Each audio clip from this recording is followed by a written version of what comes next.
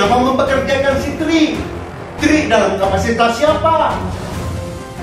Di undang-undang jelas 1365 siapa mempekerjakan dari tanggung jawab daripada perusahaan. Kenapa tidak ajak? Saya tidak bisa menjelaskan masalah ini.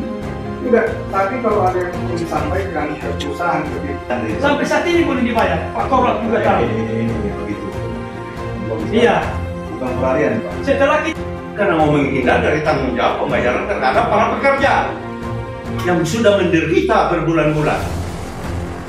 Coba keterangan dari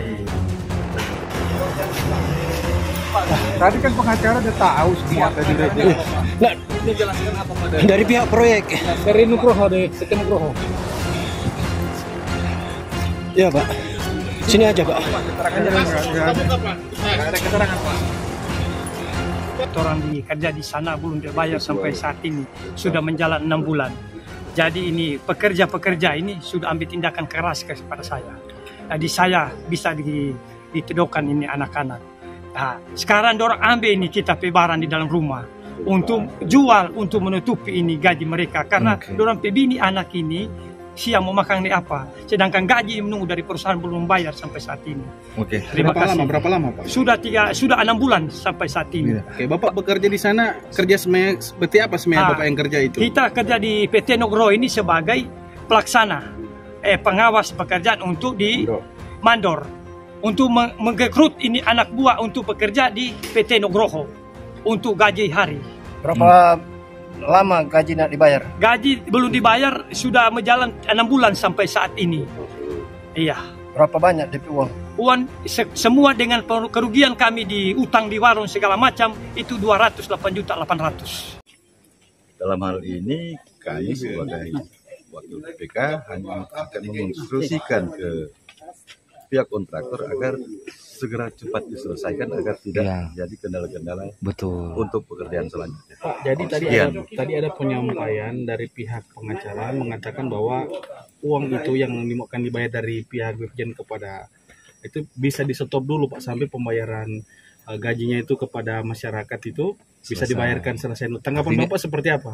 Itu kurang ranah PPK. Pak. Iya, karena Jadi mereka nanti Bapak- Bapak, Bapak akan Iya. sampaikan itu Iya, gitu ranah ya. PPK karena soal pembayaran itu kan Pak, betul orang kalau sesuai prosedur kan orang bisa tantan. Mas, ya. Oke, siap. Karena kalau orang kerja betul, progres betul, kalau orang Muhammad amat kan justru orang akan dilaporkan Oke, siap. ke pihak kontraktor. Ya, siap. Pak Stanley. Pak Stanley.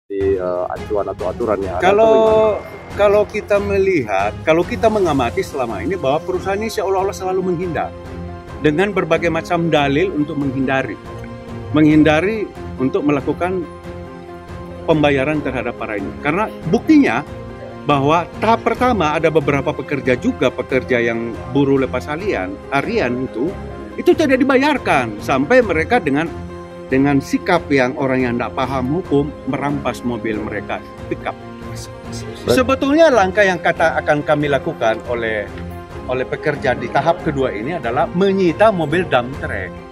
Tapi kami berpikir sebagai orang hukum itu adalah menciptakan masalah baru. Ini barangkali jebakan daripada PT Nugroho. berarti eh, BPJN terkesan itu me- BPJN. membiarkan ya Pak? Satu.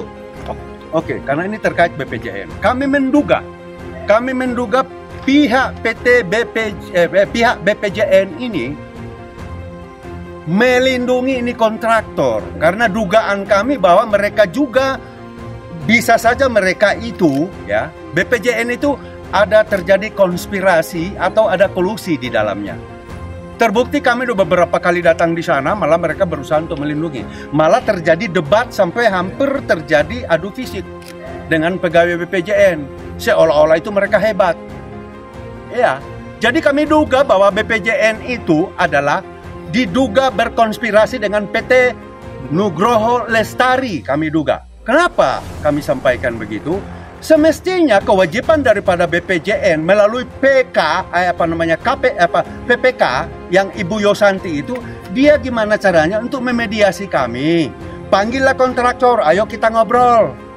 Gimana cara penyelesaiannya? Kenapa kamu tidak bayar para pekerja? Tapi tidak ada langkah yang dilakukan oleh pihak BPJN. Yang PPK 1.5, di situ ada Ibu Yosanti. Jadi dugaan kami Ibu Yosanti bersama-sama dengan teman-teman yang lain yang ada di sana berkonspirasi dan ada kolusi. Demikian. Terima kasih.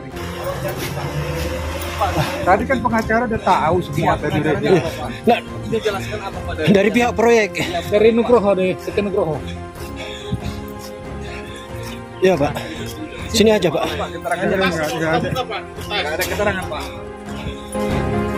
Sedikit aja, Pak. Biar hanya satu menit, Pak.